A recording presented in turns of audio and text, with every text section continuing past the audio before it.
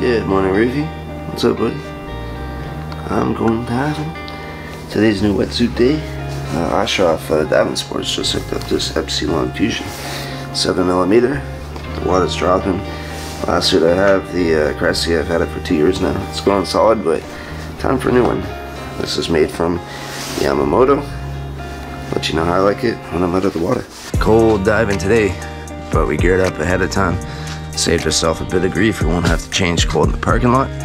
And hopefully Bob spent more time in the water. What's up, man? What's up, how's it going? You good? Beautiful morning, but it is cold, as expected. Thanks, Moncun, for paying for the parking. It's 12 bucks here. Gonna swim over to the breakwater, look around for some lingcod and some Dungeness. My wife wants some crab, and she let me get out today, so that's fair. Bought this float in 2019, and I've only used it a handful of times. I will say, it does make the long distance swims much easier. I was also able to keep my body out of the water for the swim over, which was another advantage. I generally don't like diving with a float, but for this spot, it's a no-brainer, especially in the spring and summer with all the boat traffic in the area.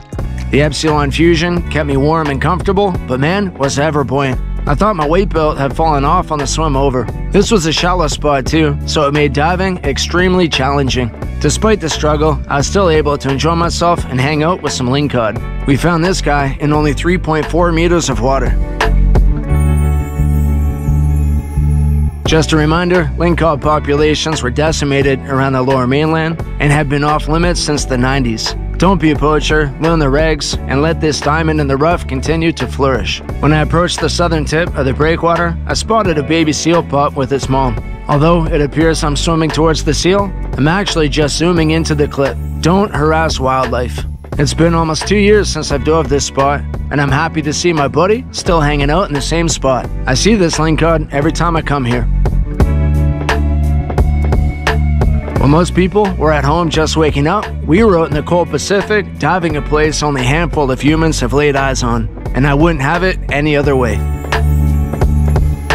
This lingcod was a lurker. They'll be laying egg masses pretty soon. And all these guys will be trying to feed on them.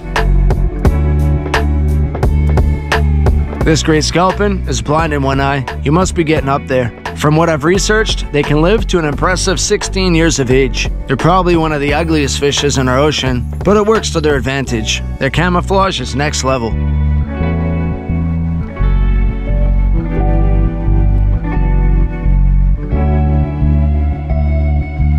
We didn't have great success on the crabbing front, but we didn't get skunked. Moncun found one right on the money, 6.5 inches.